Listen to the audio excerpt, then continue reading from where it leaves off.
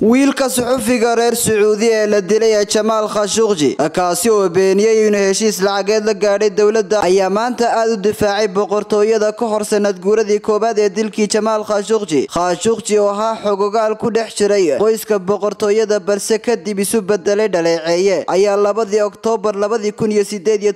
lagu dhex dilay gudaha qunsuliyadda sacuudiga ee istaanbul howlgal ay fuliyeen shan iyo toban sarkaal oo laga soo diray riyaad maydkiisa ilaa iyo hadda lama helin. Koob iyo toban ka mid a dalalkaasi oo la aqoonsaday ayaa maxkamada ka wajahaya riyaad iyada oo shan ka mid a ay wajahayaan ciqaab dil ah. Saalax khashuqji ayaa sheegay inuu kalsooni buuxda ku qabo hanaanka cadaalada sacuudiga. Waxa uu weeraray mucaaradka uu sheegay inay ka faa'iidaystaan kiiskan. Sanad ayaa ka soo wareegtay geeridii aabbahaygii aan jeclaa muddadan mucaaradka iyo cadowga bariga iyo galbeedka waxay isku dayeen inay ka faa'iidaystaan kiiska si ay u waxyeelayaan dalkayga iyo hogaanka ayuu ku soo qoray bartiisa twitter-ka. Ma aqbali doono in xusuustiisa iyo kiiska laga faa'iidaysta ayuu yidhi saalax oo degan sacuudiga. Aad ayaan ugu kalsoonahay hanaanka cadaalada boqortooyada iyo awoodda ay u leedahay inay cadaalada mariso kuwii fuliyey dembigan. Aadka u xun ayuu yidhi wargeyska washington post ayaa kowdii abriil wariyey in carruurta khashuqji oo uu saalax ku jiro la siiyey guryo malaayiin doolar ku fadhiya islamarkaasina ay